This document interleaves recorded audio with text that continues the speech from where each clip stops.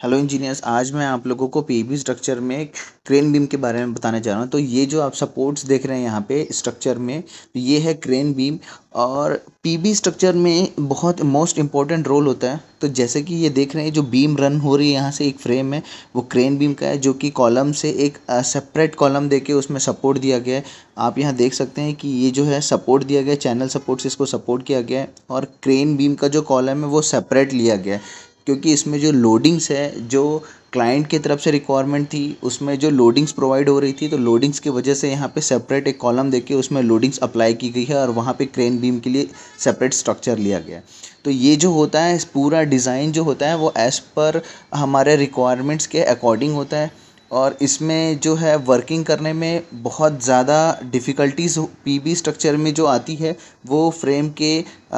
Assemble में जो होता है वर्किंग उसमें आती है।